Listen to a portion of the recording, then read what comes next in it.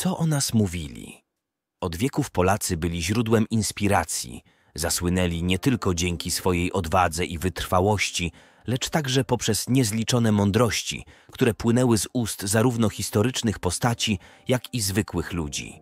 Polska, kraj bogaty w historię, kulturę i tradycje, stała się tematem licznych rozmów, dyskusji i refleksji na przestrzeni lat. Czy znasz wszystkie cytaty i powiedzenia? Jak uważasz, czy Polacy zapisali się na kartach historii i w umysłach ludzi pozytywnie, czy może negatywnie? Od śmiesznych przez wywyższające po nieco mniej pochlebne opinie sięgniemy właśnie teraz. Norman Davis. Jest u nas takie powiedzenie. Jeśli muszę pójść do dżungli, to najlepiej, gdy będę miał za towarzysza Polaka. Jesteście wierni, trzymacie się do końca razem. Starsze pokolenie Anglików zaświadczy też, jakimi świetnymi jesteście żołnierzami. Józef Piłsudski. Polacy mają w sobie instynkt wolności. Ten instynkt ma wartość i ja tę wartość cenię. W Polsce nie można rządzić terrorem.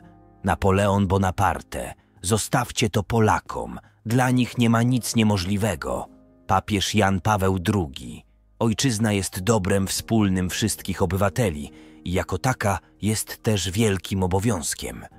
Analiza dziejów dawniejszych i współczesnych dowodzi, że Polacy mieli odwagę, nawet w stopniu heroicznym, dzięki której potrafili wywiązywać się z tego obowiązku, gdy chodziło o obronę ojczyzny jako naczelnego dobra.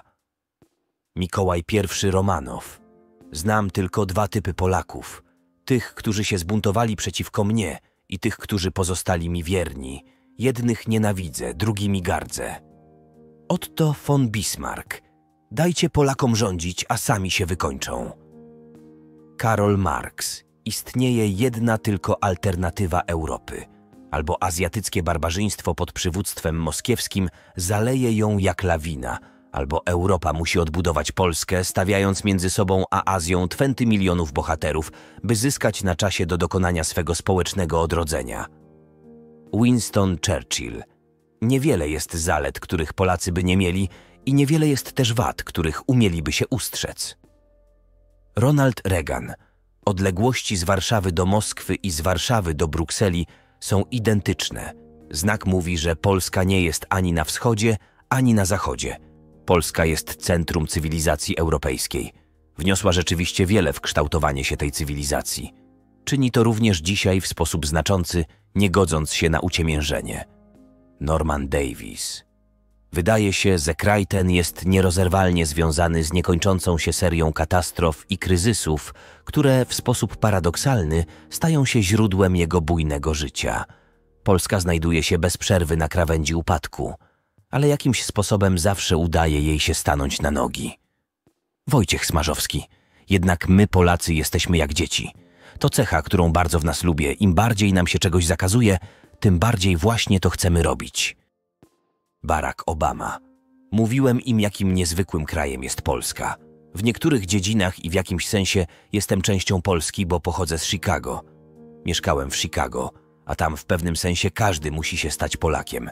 Chyba, że coś z nim jest nie tak. Jacek Dukaj.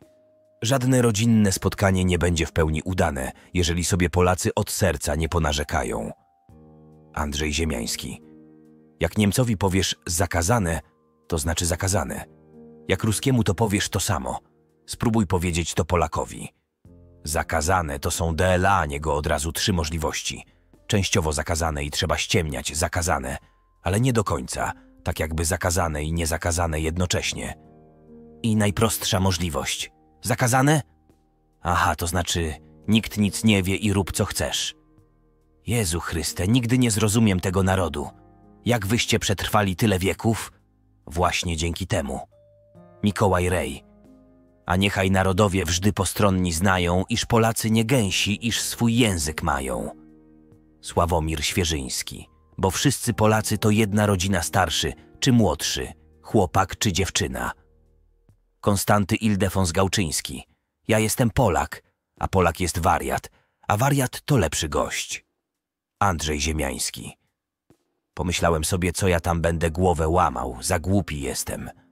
Od rozwiązywania nierozwiązywalnych problemów są na tym świecie Polacy. A przykład najlepszy to rozkodowanie systemu, jakbym była enigma. Zygmunt Miłoszewski. Uwielbiam tę waszą cechę, to poruszanie się po skrajnościach, euforia albo czarna depresja, wielka miłość albo ślepa wściekłość. U Polaków nigdy normalnie. Andrzej Sapkowski. Największym zagrożeniem DL-a Polski są sami Polacy. Zawsze tak było i zawsze tak będzie. Przysłowie słowackie. Gdy się dwaj Polacy zejdą, to w trzy strony się rozejdą. Voltaire. Jeden Polak to istny czar, dwóch Polaków to awantura, trzech Polaków, och, to już jest polski problem. Dalaj Lama XIV. Polacy to naród, który doświadczył wielu trudnych okresów, ale bez względu na trudności i przeciwieństwa zachował ducha i podziwiam naród polski. George H.W. Bush. Bez męstwa Polaków wszystkie dyplomatyczne zabiegi i międzynarodowe negocjacje z końca lat 80 nie przyniosłyby przemian w Europie.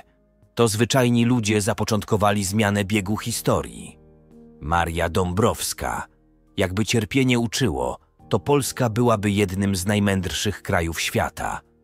Adam Mickiewicz. I rzekła na koniec Polska.